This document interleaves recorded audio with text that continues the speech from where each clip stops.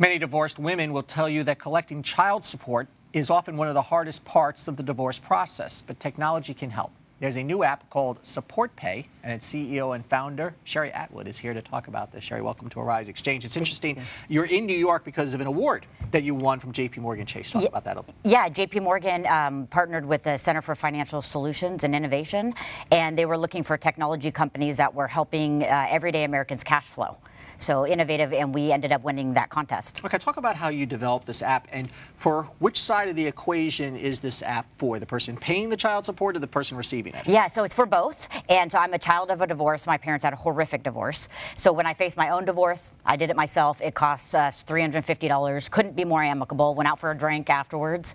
Uh, but what I found out was after to just share expenses, it was getting difficult. Then I started talking to parents, and what I heard was the person paying says, I have no problem paying. I just want to know the money's going to my kid. And the person receiving is like, he doesn't do the shopping, so he has no idea, like, tennis shoes cost $100. So with our app, you actually enter an expense and you attach a receipt so they see it. We do all the billing, we do all the notifications, and we uh, keep a certified record.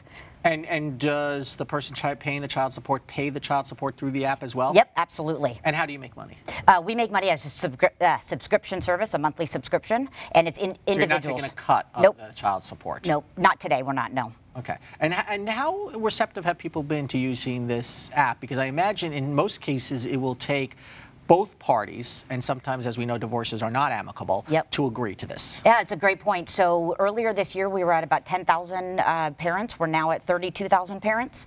Uh, and we're also partnering with family law professionals. So we're starting when the um, divorce happens. But once they start using it, what we found is they're 90% more likely to exchange child support because of the transparency, it eliminates all those conflicts. They're no longer fighting in front of their kids. So it really makes their lives a lot easier. What about for women who, for the, the majority of which are on the receiving end yep. of, of, child support, obviously, uh, in enforcing child support against let's call them deadbeat dads. Yep. Does this app help create a record and do that for them? Absolutely, and that's one of the biggest issues is how much does he owe, or even allowing him to contribute something rather than nothing. So we enable you to contribute cash payments, but they also have a record, and now it's the system sending the notification to him rather than her calling him up and nagging or trying to communicate with him.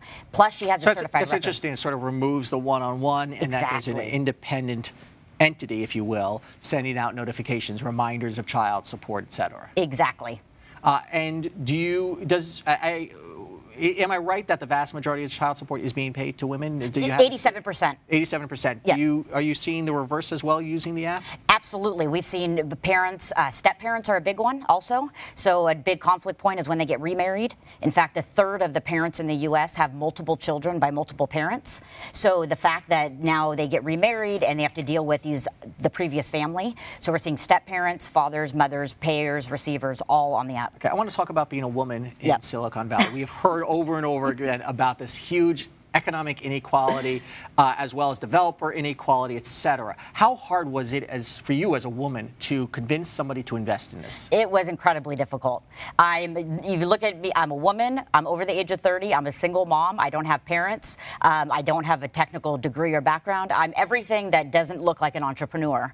Uh, but what I do have is passion for this. I have work experience, and I was told over and over again, "Are you sure you can do, do this?" Do you find this hypocritical on the folks of Silicon Valley because you're talking about people who go out there and talk yep. about economic inequality and ra racial inequality and gender inequality, yet the statistics show this is one of the most unequal, yep. unequal uh, industries there is. Absolutely, and it is the only thing that I can say is I was able to raise money. We raised 2.6 million so far. We're raising another 5 million, so it's possible. And so if I'm the least likely candidate and I could do it, it is absolutely possible. But do you, we need do you more. think having a CEO of Facebook as a woman, do you think having a CEO yep. of Yahoo with Marissa Mayer as a woman, is that helping? There's some criticism that they're not, they're not doing enough. Uh, it's helping. It's definitely putting more out there, especially for kids seeing um, other. But there absolutely has to be a focus on getting more women and minorities starting companies and them getting funded. That's the problem is getting the money. I should say it's the COO of, of Facebook. Yeah. Mark Zuckerberg still the CEO. What advice do you have for then for women going out to Silicon Valley who want to be in this industry? Uh, passion, stick with it. You're going to hear no's a lot and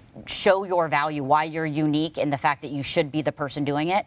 Uh, the other part is I taught myself how to code. I know how to code, so I know the technology side. And that's well. also important for you to be able to have conversations Yes. with. Uh, it's a very geeky industry. They want to talk to coders and exactly. engineers. Yes, and I get questioned all the time, or say, "No, you don't know how to code. Prove it to me." And I've had to sit there and show them, uh, but it's possible. So actually, just keep trying, and eventually, we found an amazing group of investors. Uh, what's next for you then? What's growing the, the business even further and getting another round of investment so we can get to 100,000 customers. How do you get to 100,000 customers? What does it take? Both awareness of the app, knowing that it's out there, and help the family law professionals providing this to their That's customers. very interesting, actually. Get involved in the legal profession. Yep. Sheri Atwood, thank you. Thank you. Good talking to you.